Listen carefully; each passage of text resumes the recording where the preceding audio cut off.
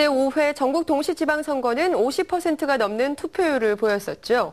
연예계에서는 심은하 씨를 비롯해서 첫 투표권을 얻은 아이돌 스타들까지 많은 스타들이 선거에 참여했습니다. 눈길을 끄는 유권자가 한 분 있는데요. 스타뉴스의 오후를 책임지고 있는 한영 씨의 투표 현장에 스타뉴스가 함께했습니다. 지금 바로 만나보시죠.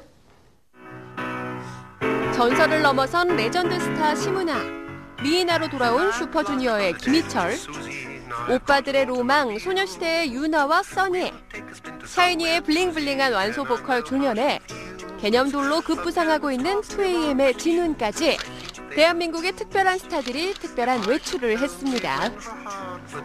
그런 자리에 우리의 스타 MC 한영이 빠질 수 없죠.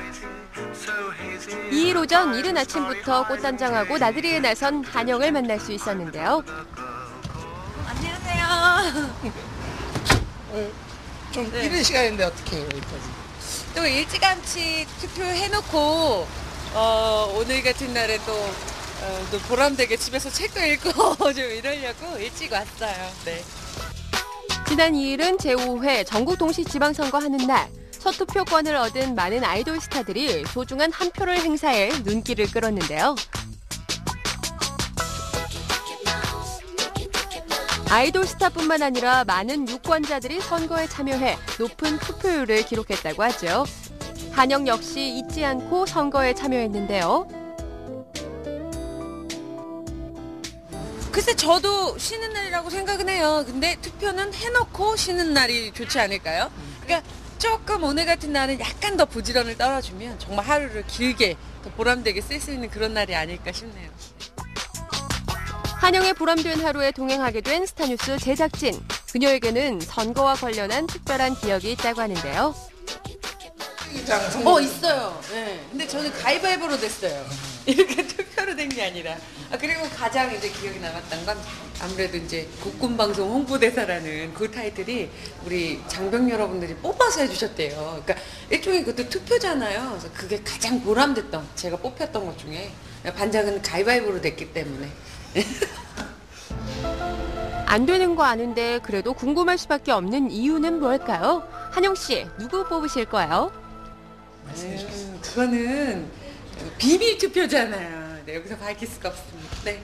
들어가서 제가 고민 조금 더 하고 뽑겠습니다.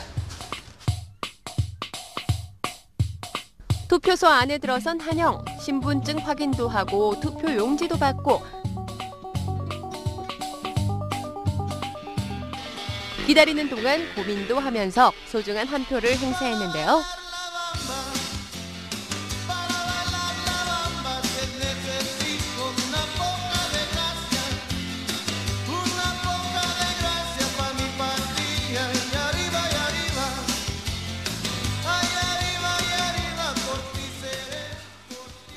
투표 다 하셨어요? 네. 잘했습니다. 약간 하셨는데 기분이 어떠세요? 어, 뭔가 예 저의 의무를 다한 것 같고 예 그렇잖아요 하나의 권리인데 제가 행사를 해야 되잖아요 어 정말 저의 힘을 보여준 것 같습니다 네 특별한 외출에 기분이 좋아 보이는 한영. 한영이 원하는 후보는 이런 느낌이 아닐까 싶은데요. 어, 저는 이제 좀 있으면 주부가 될 나이잖아요. 사실 늦었습니다. 그래서 그냥 어떤 채소값이나 야채값이나 장 보러 갔을 때 참 그렇더라고요. 그거를 어, 최대한 낮출 수 있는 어떤 방안을 마련해 보겠다. 이러면 뽑히지 않을까요? 저는 진짜 100%라고 생각합니다. 뽑아주세요.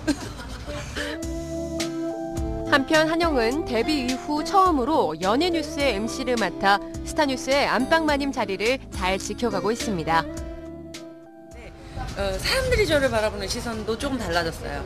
어, 아나운서 시험을 보지 그랬냐. 너 왜 이러고 있냐. 뭐 이런 얘기를 많이 듣고 어, 굉장히 이미지를 좋게 하는데 저한테 그 프로그램이 한몫을 해준 것 같아서 너무 좋고요. 공인으로서 타의 모범이 되기 위해 노력하는 한영. 연예인으로 스타뉴스의 MC로 좋은 소식 전해주길 기대하겠습니다.